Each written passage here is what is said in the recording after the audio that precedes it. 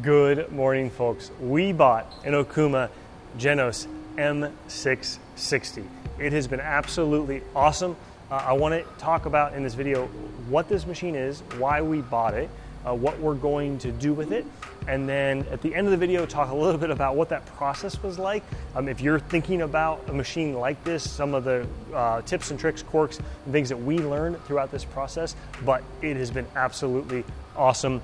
Uh, the quick recap of the numbers it is approximately 59 by 26 inch machine with a 32 tool tool changer and a Big Plus dual contact Cat 40 15,000 RPM spindle.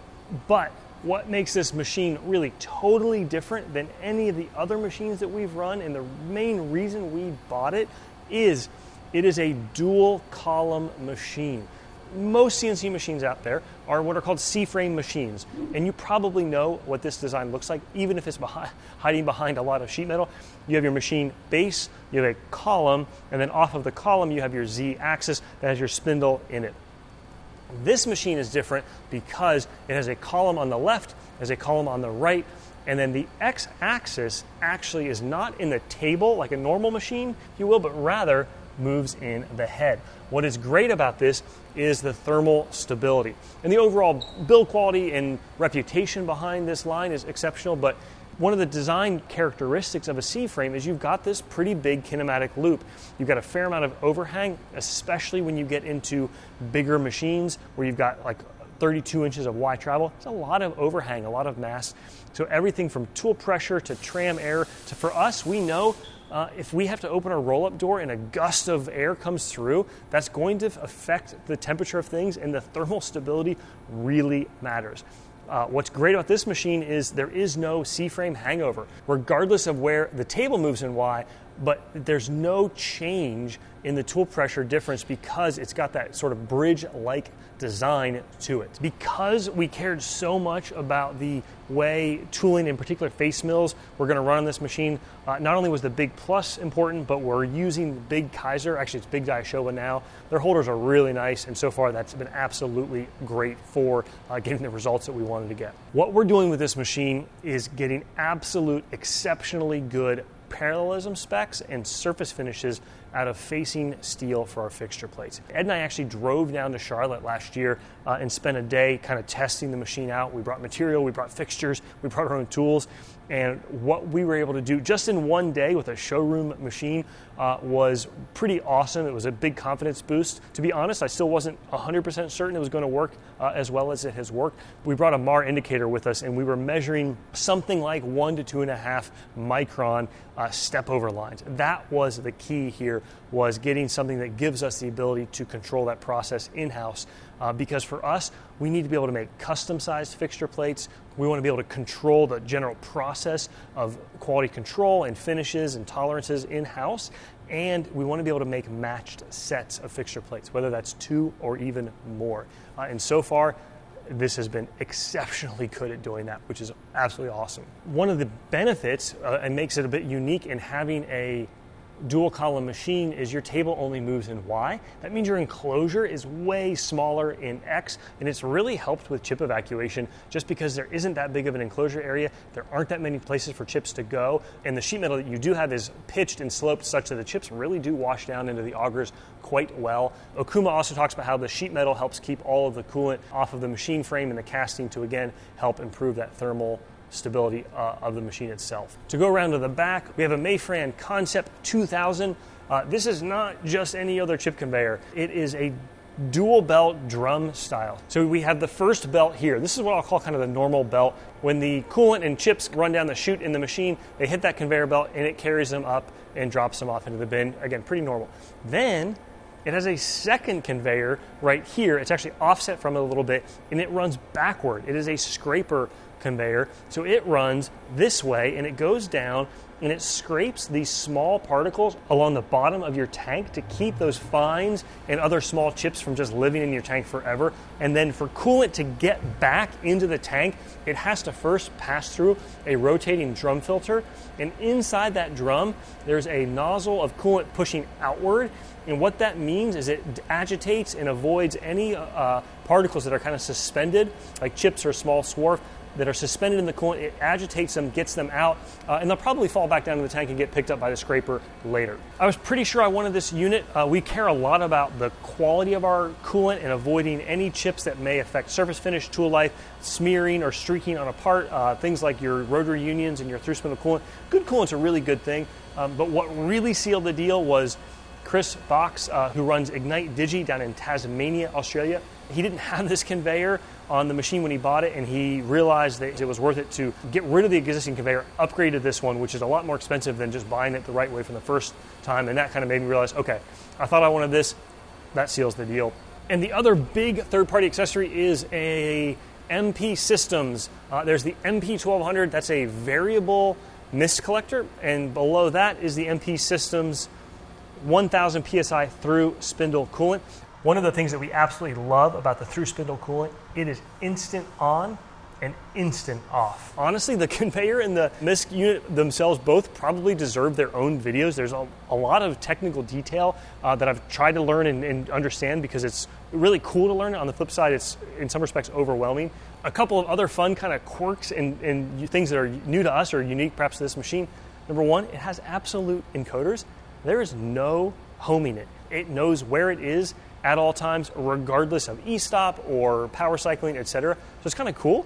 Uh, and actually ties in really well to another feature that I absolutely love on this machine, which is this little Omron timer right here. Now, it was kind of a pain in the butt to program, but it warms the machine up every morning. We set the schedule, the time, and every morning it turns on, it loads a specific program, and because it doesn't need to home or reference, so long as you have, I think, the door closed and air pressure in your shop, it runs its own warm up routine, which I love because when we get into the shop, the machine is ready to use. Speaking of tool changers, I really like this. You have access to all 32 of your tools while the machine is running right here. It's got its own little control button. You can jog, index it, swap tools out, check inserts, replace uh, end mills, etc. Biggest gripe I'd have is it's really dark in here, as you can kind of see. But quick fix. It's actually a nice quiet Sunday in the shop here. I bought a uh, LED light kind of like what we use for filming, and drilled a little uh, USB bulkhead connector through here, and we'll put a little light inside of there just to make it easier to see inside of there. When we first got the machine, we had like half a day of training, and then they'd booked a couple of days. We were good. It wasn't that hard or different to use. Uh, there's a lot to learn, and we will have more over time, I think. But uh, the stock Fusion post worked out of the box, which is great. Uh, we've since started using some other posts that we've found or had friends send to us that use uh, some really cool stuff integrating uh, tool life management and spindle loads. We've already started a list of things we want to talk about in another video of tips like that. But one of the things I like is OSP is a totally Windows based program. We've actually seen folks that have loaded other Windows software on the machine itself. What I cared about was the first thing I saw uh, was an example of loading the file on here with either the USB drive or looking for the file from the control. We mapped the OSP's memory folder to our Fusion computers. So with NT programs, when we post a file, Fusion pushes it directly onto the memory within this. You don't even have to copy the file over, it's right there.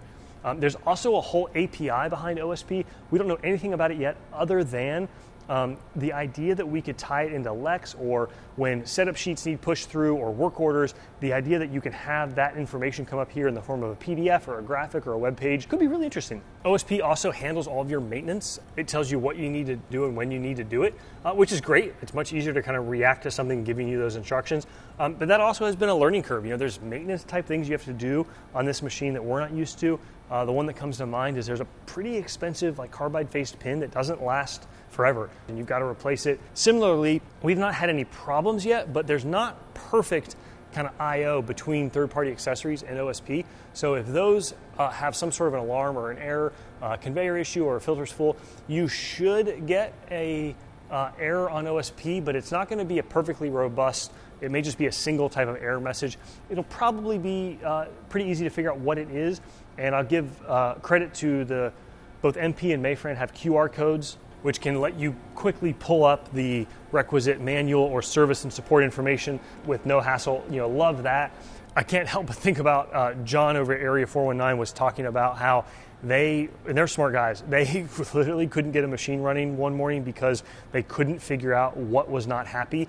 Uh, and I think it was something weird where like uh, one of the accessories had a second e-stop or alarm and it was on and they just didn't know what was making the machine not happy. So kind of one of those things that scares you. But again, so far it's been great. The Okuma spec for the foundation was not something that we were going to be able to do, or at least I didn't want to do.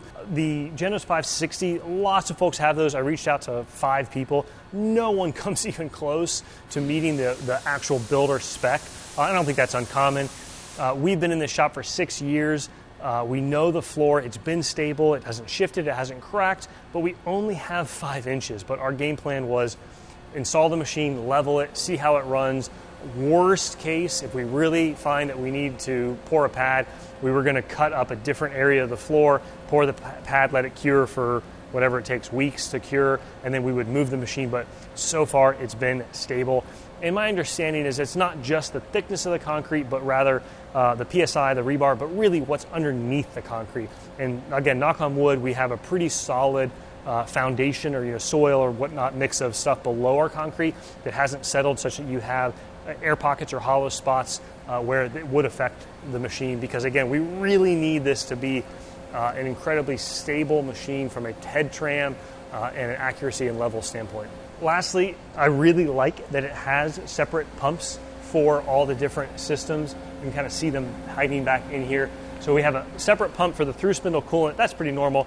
But what I like is you have three separate pumps for your hose, washdown, and regular flood coolant. And that means if you want to use one, you're not doing so at the expense of flow or volume from another. So you've got nice adjustable, uh, they move in and out bars here for your washdown on the side enclosure. You've got your regular flood and then the washdown gun or hose itself. We 3D printed a little uh, part here to hold our air gun. Another really nice feature your override buttons. I like the physical size of the button, but also it goes from 100 to 50 to 10, then 5, 1, and half a percent and 0. Such a nice way to get that fine control that you really all want before you go back up to full speed. We will put a card here to the NYC CNC page where we've got a detailed list of all the build options and specs that we went for on this machine. And we've got that video plan already where we're going to start sharing some of the things that we've learned on OSP, on code, on posts, and so forth. Uh, we'll keep that updated over on that page. Otherwise, folks, hope you learned something. Hope you enjoyed. Uh, let us know what you want to see in the comments below. Otherwise, take care. See you soon.